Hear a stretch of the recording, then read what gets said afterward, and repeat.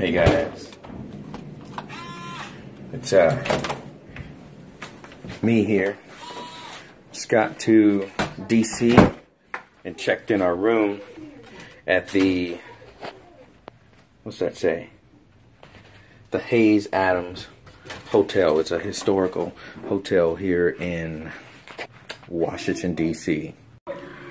Now, when I tell you it's one of the coolest hotels that I've stayed in, really mean it.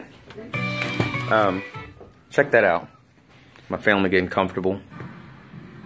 Hey. Hey, we're doing good. You better be. it's our little room. Like I say, it's a little room, but it's going to be ours for a couple of days. Um, really good service here. And that's the one thing I like. We were looking for a room. We found a place that was like 90 bucks. Uh, but we were told that the service there was terrible and parking was 50 dollars a day so that's kind of pointless.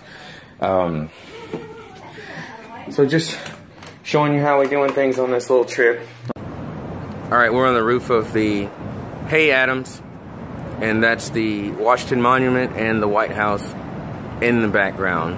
I'll see you guys when I get back to Houston